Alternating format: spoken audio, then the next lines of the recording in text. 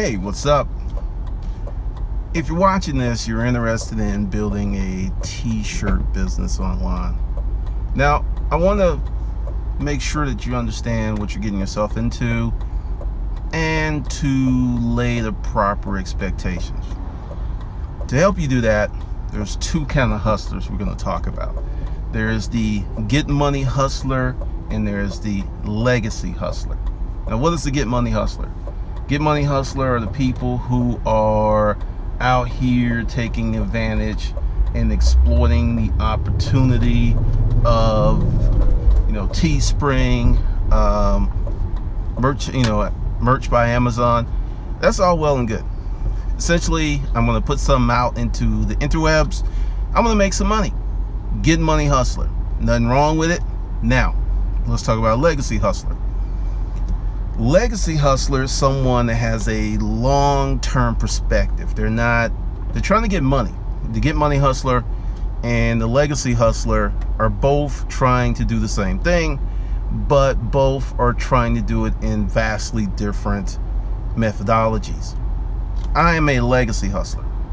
Everything that i do is almost like a porsche 911 you can look at the very first porsche 911 and see how the 2016-2017 model was derived from that original model. looks completely different, yet you see the lines. Now, everything that I build from an internet marketer standpoint comes from that same place. It looks a little different today, but the genesis, the core is the same. Now, if you're a get money hustler, you have no such orientation. Once again, it's not bad, it's not horrible. The thing is, as a get money hustler, you're always restarting. You'll do something, it'll work out for a few months, a few years, then boom. I'll give you an example. Uh, when I first started with Conundrum Media, which was the name of the publishing company, which is now Hustlers Kung Fu, I wrote a book and I, I didn't know what was going to happen. I just knew that a lot of people needed to know how storage auction units, storage auctions worked. And I knew there was a marketplace, but I did not know there was not one, two, three storage auction shows in development. And when I wrote my book, I beat those shows by 14 months. So I had a very lovely opportunity where I owned the market for virtually two and a half years. That's atypical that's not something that I could repeat because there were so many things that came into alignment that made what was already successful even more successful. See, I don't say that I got quote lucky. Lucky didn't write a 269 page book. Luck had luck had nothing to do with that. That was applied effort. Now, stemming from that, that a that a typical situation put me in a get money hustler situation by default because I knew at some point it would be over. I had no false assumptions that, oh, this is going for years. I'll be riding this storage auction thing for the next three decades. No, honestly, I'm surprised it lasted as long as it did. So that's what happens with your Get Money Hustler. And roughly 2012, I had to rebrand and reorient what I'm doing. Now, the thing is, storage auction units, making money with self-storage unit auctions A to Z was a business book, how to start a business. So that's the core of this channel. What businesses I talk about, what ways we go, especially with this t-shirt business, is different methodology, but the core is the same because you have a business, you have a product, you have a service, and you need customers to buy so said product and service. That never changes how you make money. You sell it, you sell more product, you increase the times that the customer buys the products. These things just don't change. So I'm going to design my t-shirt business and, you know, uh, once again, the best way to manage expectations is to properly set them. This will not be a get money hustler course. Will not be get money hustler information. So if that's what you're looking for, you know, uh, there's, like I said, uh, I think this guy's name is Donald. He's created this course and it's a good course. I haven't taken it. I'm not endorsing it. I'm not slamming it on how to use Facebook ads to sell a lot of t-shirts using the Teespring platform. And a lot of people have made a lot of money. I'm talking about like 100K a month selling Teespring, uh, you know, using the Teespring platform selling those shirts. But with that said, that is not a durable hustle. It's going to peter out at some point because as more and more people buy the course as more and more the information becomes diffused as more people use those tactics they therefore become less effective. It's just going to happen. Now let's go with um, I can almost see it. it. It is just the craziest thing. I want to talk about some durable legacies, uh, legacy hustlers. Um, I can almost see it Ed Hardy, okay? That is a durable legacy hustle hustler. Ed Hardy went through many different renditions, uh, became extremely successful, became pedestrianly popular, which means, you know, pedestrianly popular is when it shows up in TJ Maxx and uh, Marshalls and places like that. So it went from a very niche, very exclusive, brand to a pedestrian brand and made billions. Made billions and Ed Hardy merchandise is still selling. That's a very durable brand. Now it's not, you know, doing what it did in the beginning, but neither but well actually it could be because you know I haven't researched it I'm just going off the top of my head on this because I know about Ed Hardy but he could have some things like with Ralph Lauren when I was in the storage auction business, I learned a lot about Ralph Lauren's brand. Purple label, you know, there's brands within brands within brands. So Ed Hardy may have something similar. But, you know, that's another, this is a good example. Uh, Ralph Lauren is an extremely durable brand. It's become iconic. I mean, he'll be dead. I don't think, I think his son married Chelsea Clinton, something like that. I'm not sure. I'm not spreading gossip. I think that's he's his son married somebody. But essentially, Ralph Lauren is like is entered into the same atmosphere as Chanel, Hermes, uh, Vanderbilt. There's just certain brands that are just going to be around a long, long time. Uh, Hello Kitty, extremely durable. You know, Hello Kitty is not new. Hello Kitty was, I think, developed 1979. That's how long Hello Kitty has been around. 79, 80, it, it was one of them, but it's been around 30 some years. I think 37. Once again, a durable brand, a durable brand. Now, with durable brands, it takes time to develop. And this is why I'm just saying, like, look, if you're looking for a get money hustle, if you're looking for some quick, be sure to go to hustlerskungfulifeskills.com. Plenty of stuff there for the get money stuff. It's free. Knock yourself out. But if you are that creator, someone that wants to build something, someone that likes to be creative and is willing to tinker and to explore because just to be clear, there will be these videos that I'll do on YouTube and then there will be the videos that I will do in the course. I will give numbers, I will give screenshots. Now, you know, there's, there's questions about what will I talk about. I will get down to the nitty gritty. Now, going back to the first foray, you know, with Teespring and how all of that stuff didn't really work out that well, it is, I've learned a lot from the experience. When you couple a physical product with a digital product, it gives it more presence and it makes it more real.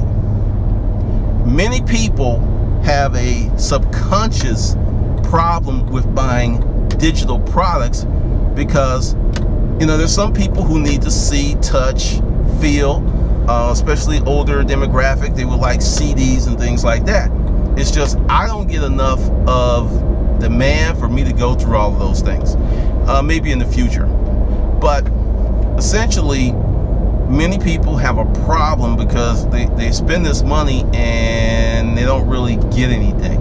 You know, you spend money and you go to a concert, you got your ticket stub. When you spend money or you may get t-shirts or something, you, you need that anchor of something physical to help you appreciate and validate your expenditure of money. So that's one of the reasons that I'm incorporating the t-shirts because like I said, the nitty gritty, the numbers, the blanks, all of the stuff that I'm going through, uh, dealing with designers, maybe creating a designer resource, uh, creating, you know, networks, opportunities and stuff, all that's going to be part of the paid course.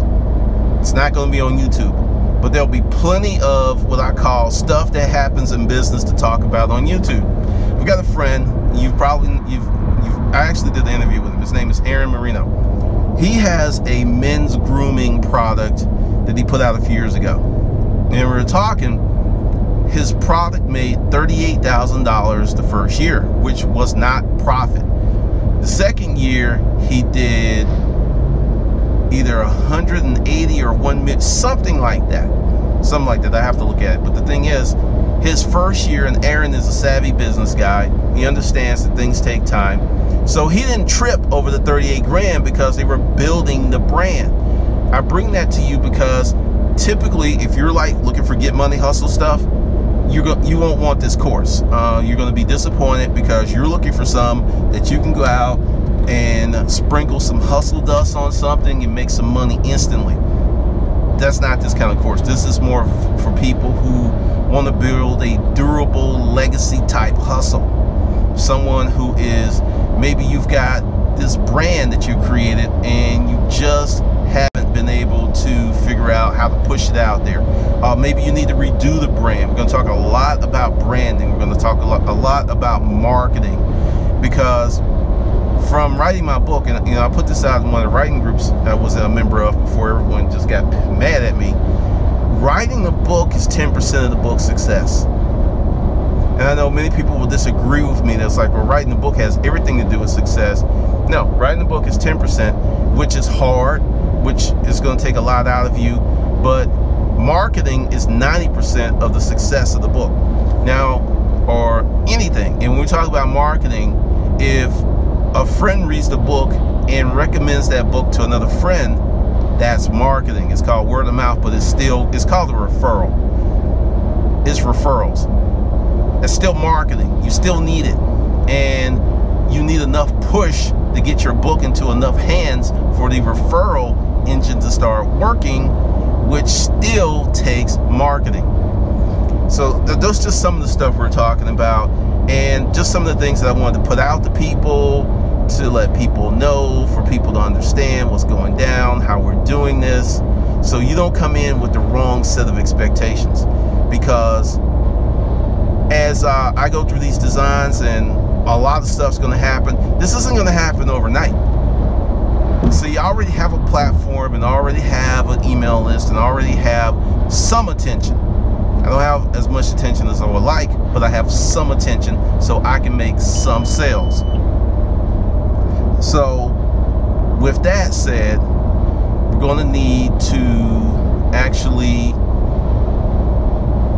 put out information that is going to help you appreciate and really dig deep in you to create your brand.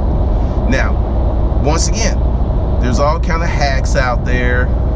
There are all kinds of um, tactics. You know, there's because the get money hustler is closely aligned with the tactical hustler. And when I say tactical, I'm not talking about military strategy. I'm talking about someone, let's go back to the Facebook affinity group Teespring methodology of selling t-shirts. That's a tactic. It works. It works. There are people who've made millions using that tactic. However, once again, as a get money hustler or a tactical driven hustler, you're always restarting. A better thing would be able to, you know, maybe have a tactic while you're working on something durable because, see, this is the thing that's going to happen. You're going to get to a point where you're not going to want to hustle like that all the time. I still hustle much harder than the average person, but my level of hustle is nothing compared to my level of hustle, what my hustle used to be. I mean, my hustle was like on steroids. And this is the dial down hustle. Because once you build some things, you don't have to hustle that hard. You can start to think about strategy and you can sit back and you can take you know the time that's needed. You should still have a sense of urgency. Don't get it misconstrued that you shouldn't have a sense of urgency.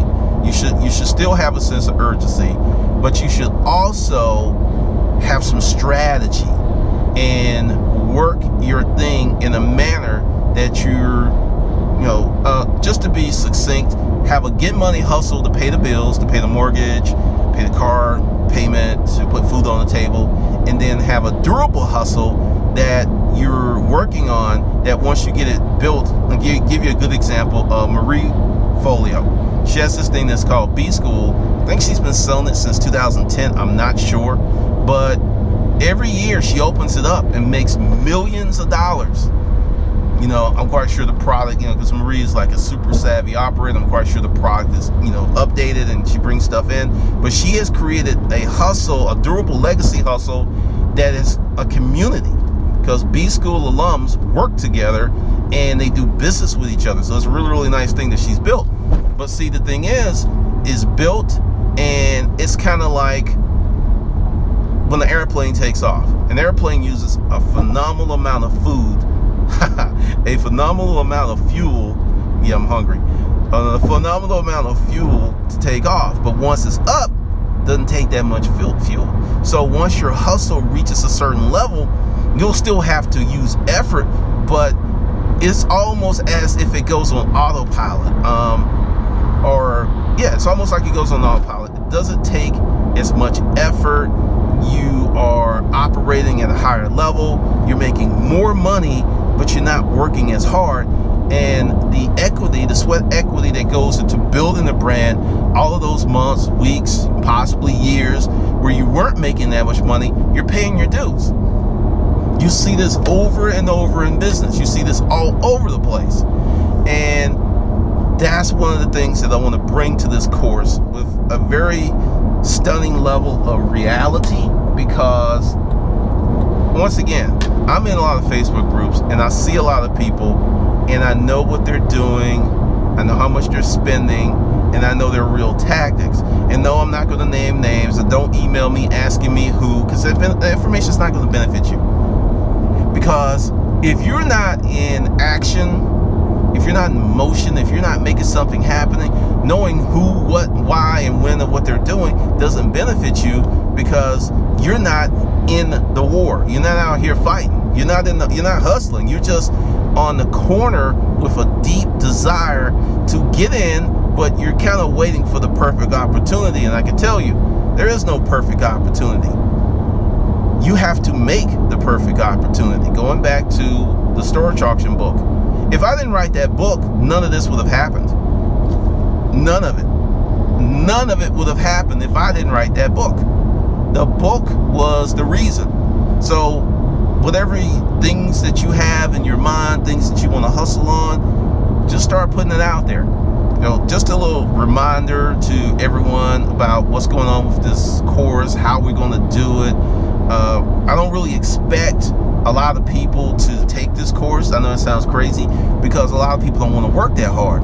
But if I can get a good 50, well, actually, it's going to be more than that because if you're a member of Hustlers Kung Fu Dojo, you automatically get this course. You know, uh, we're sending out emails, and everybody should by tomorrow be included that's paid their monthly fee. Because every you know every time every day we go through people who cancel then you know that's where they stop. They're not going to get the new stuff.